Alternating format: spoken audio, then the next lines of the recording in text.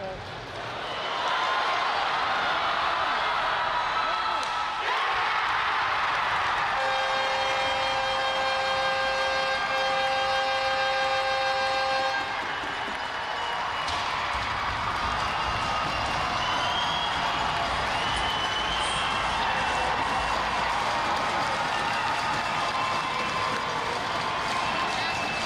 For more highlights, visit our website, 519sportsonline.ca. Be sure to subscribe to our YouTube channel and follow us on Facebook, Instagram, and Twitter.